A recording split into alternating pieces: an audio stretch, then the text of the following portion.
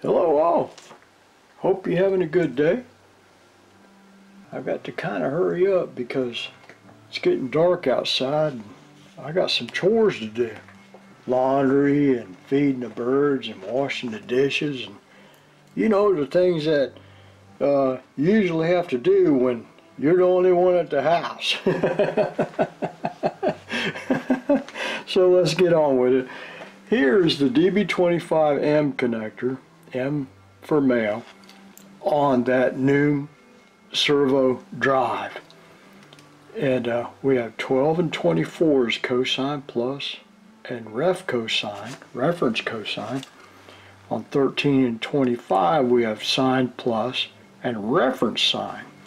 Now down here we have a communications IC. This is a 75176B uh, transceiver and uh, pin 1 of the DB25M connector goes to pin 7 of the transceiver IC and 14 of the DB25M goes to pin 6 of the transceiver IC. Now what that tells us is is out here attached to that motor we have intelligent communications. That is an intelligent feedback inside that motor because it uh, receives communications from the drive and the servo motor communicates back into the drive.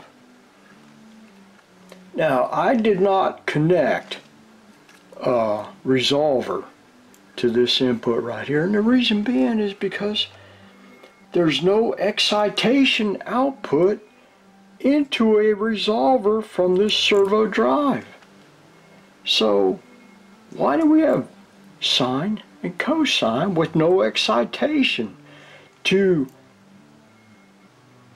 energize that resolver?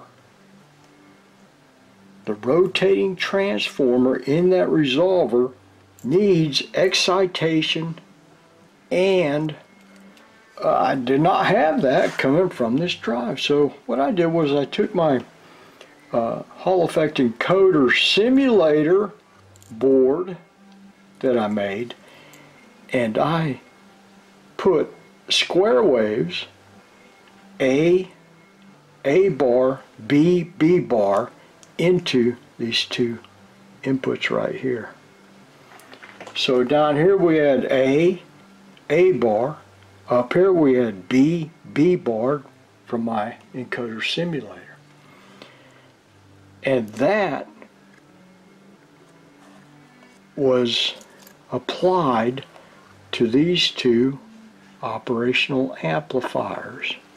So we had square wave in and square wave out. Square wave in and square wave out. They went to a sample and hold IC SHC 53 20KU. The output of the sample and hold IC went to the input of this VECANA01 IC. That's a 10 channel 12 bit data acquisition system IC. And what we were looking at in the uh, video that we just watched was this point right here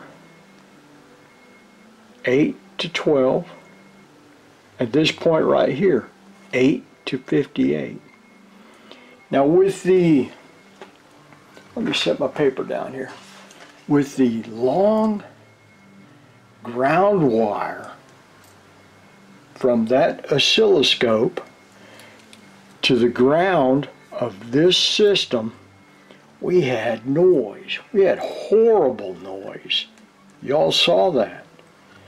And we, when I shortened that ground wire from this IC to this system, that cleaned up the noise. The noise was no longer there. So the point is, don't get fooled. You'll be looking at uh, a circuit and you'll see trash and noise and jitter uh, from this system right here if you use a long ground wire from the circuit you're looking at to your oscilloscope. Now, if you see that and if you're worried about it, try to shorten your oscilloscope probe ground from this circuit back to your oscilloscope. And I and that will clean up the noise hopefully. Now you might have real noise. It's possible. But don't get fooled between having a long ground and tricked into seeing noise and think you actually have a problem when you do not now, years ago, I was looking at a circuit and I could not figure out why my power supply was so noisy. and I looked at that and I looked at that and I looked at that. And then it dawned on me, you know what? Let's see what it looks like with the short uh, oscilloscope probe ground. And that cleaned up the noise, it cleaned up the jitter, it cleaned up the trash. And I said, doggone, I was about to go into my power supply to try and figure out why I had a problem. When I didn't have a problem, I created the problem from looking at the circuit with a long ground probe attached to ground of the circuit and attached to ground of my oscilloscope. The noise was being injected into the oscilloscope, just like an antenna with the long ground probe. All right, folks. Oh, hey, one more thing. We're not done yet. Sorry about that. Here, drop that one on the floor. Can y'all see this one? There is a power output to the encoder a voltage output to the encoder. And uh, here's the power board inside the drive and it runs up through here and it creates a voltage on the encoder so that we can power up the encoder.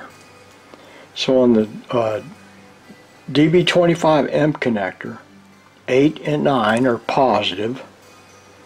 I had a almost 12 volts out there on 8 and 9 reference to this ground right here on 20 and 21 now give me a minute and we'll grab the screenshot of the cable from the uh, DB25 M connector out to the encoder, the wiring harness for that cable that goes from here to the motor feedback.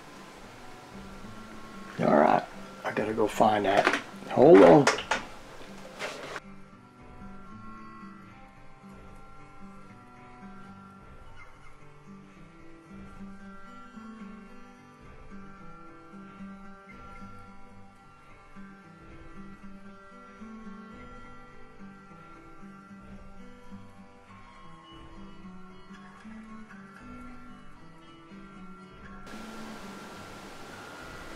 There you go, folks.